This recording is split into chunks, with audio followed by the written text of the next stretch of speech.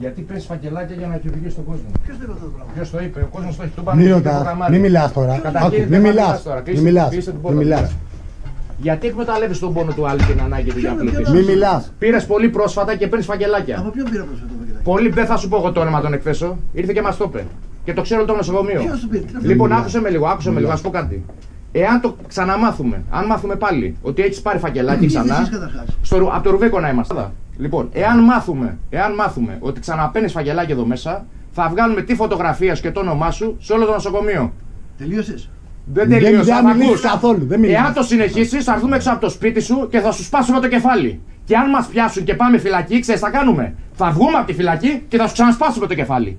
Μη διανοηθείς, θα σου κόψουμε το χέρι. Θα σου βάλουμε τα λεφτά, το φακελάκι να τα φας. Συνοηθήκαμε; Όλα, περιμένω να τελειώσετε για να Δεν μιλήσετε. θα Δεν θα μιλήσεις. μιλήσεις. Δεν θα μιλήσεις. Τελευταία προειδοποίηση. Λοιπόν, Μην ακουστεί άιτε, ότι θα άιτε. πάρει φακελάκι. Έλα, τέλος. Για να Κάνα χαίρεσαι αδέρφια, που είμαστε στο τα νοσοκομείο. λεφτά Να σου χαίρεσαι θα που πας στους γιατρούς Την άλλη φορά δεν θα σε που πετύχουμε στο παίρνουν φακελάκια. νοσοκομείο. Σαν και σένα. Εντάξει, εδώ σεβόμαστε το χώρο τώρα.